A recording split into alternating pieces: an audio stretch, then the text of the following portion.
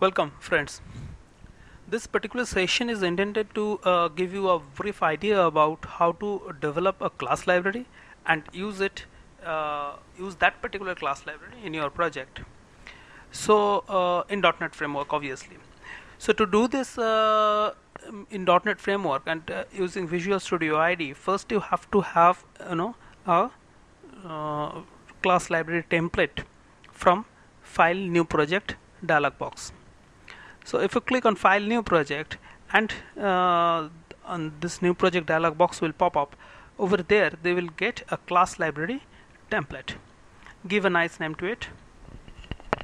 Let it be my class library.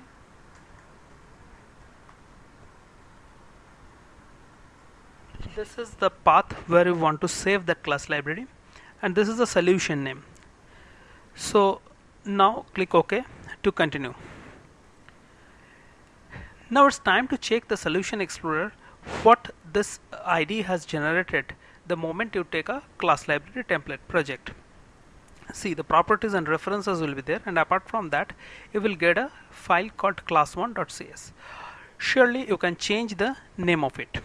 Let it be calc. Let's develop a very simple calculation class see one message box popped up. If we're renaming a file would you also like to perform a rename in this project of all references to the code element class 1 yes I want to do that. So the name will be calc automatically. And so see this is the name of the namespace. Okay now let's proceed. First uh, very quickly uh, let me develop one uh, function named add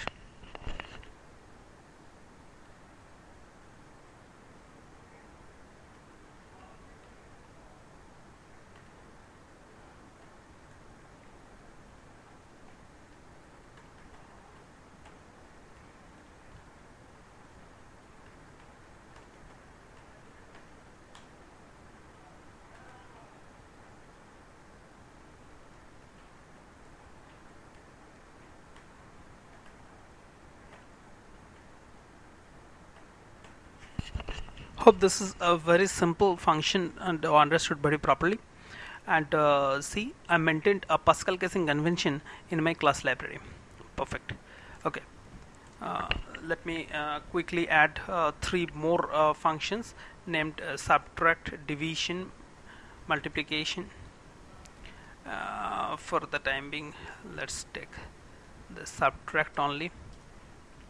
And first value and second value will be input say first value minus second value. I'm not putting any validation written uh, within this particular function which yes surely you can put it.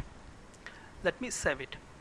Now here uh, the most important part is uh, the moment you click build and build that particular class library you will never get any exe file as you get in other uh, projects. Let's see what happened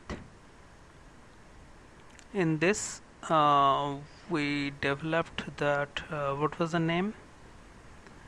The name was my class library my class library yes that's ready. Within that bin folder is there within debug this DLL file got created. Fantastic. Now it's time to consume the class library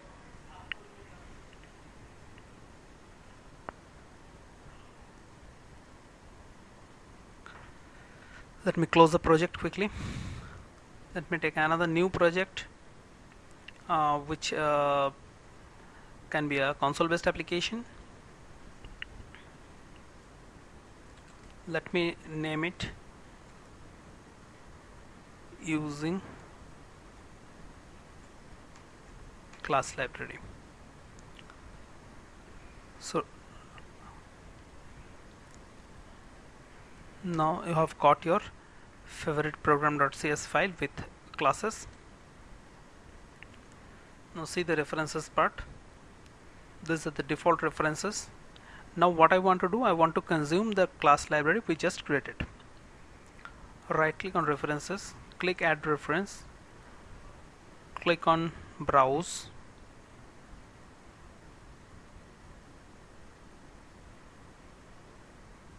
select that particular DLL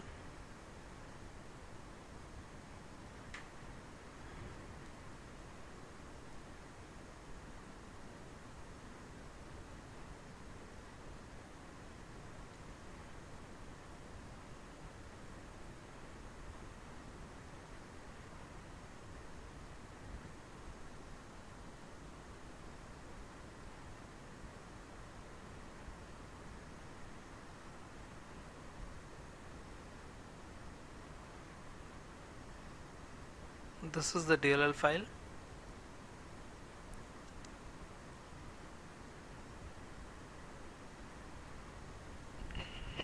For the time being uh, let me take two variables and uh, uh, initialize with some values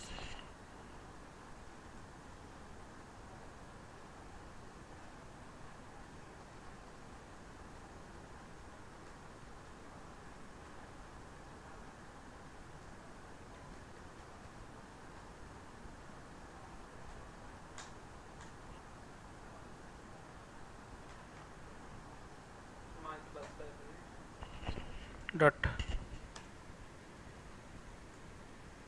calc.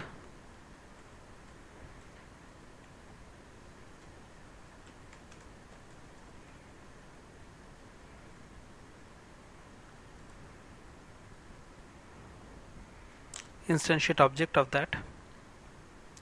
And finally let me print that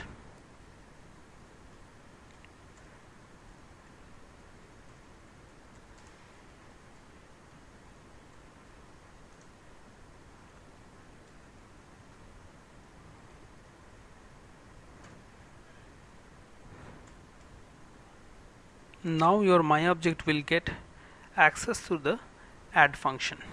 Fantastic. Pass two values first number and second number. Now put a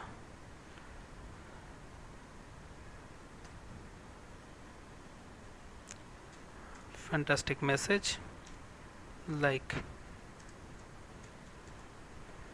press any key to continue. Right? Now I need users to press a key. Okay. Now we were through with this. Sorry. It should be like that. Okay now let's build it quickly. It's ready. Let's run it. The result is 25 so you have understood uh, how uh, a class library can be developed and how it consumed how it can be consumed. Uh, so hope you enjoyed this video and uh,